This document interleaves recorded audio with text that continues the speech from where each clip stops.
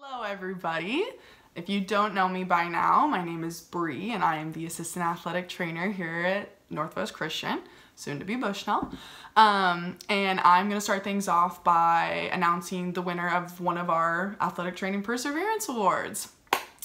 Um, first, I wanna start by defining perseverance. Um, and perseverance is doing something despite difficulty or delay in achieving success.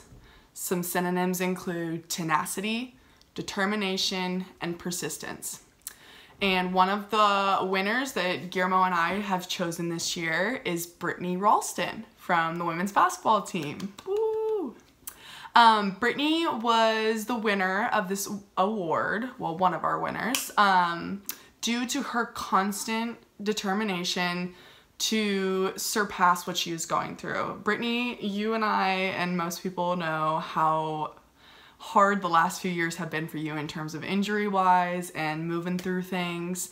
But through this year, especially, I can't say for last year because I wasn't here, but this year especially, I've just been so impressed by how well you handle situations and how you move through them and yeah, there's some bad days. There's always going to be bad days when it comes to injuries and trying to rehab and get through stuff or surgeries and things like that. But overall, you come in, you put a smile on your face, whether it's fake or not.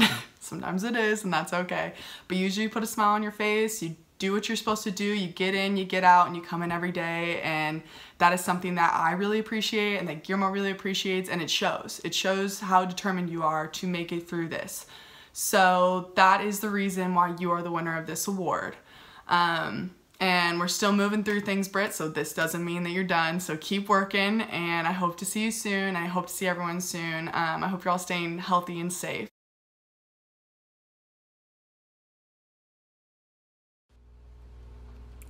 Thank you so much for thinking of me for this award. It really means a lot. This year has been a really tough year, but I really just want to have a special thanks to Bree and Guy for always being there for me through everything.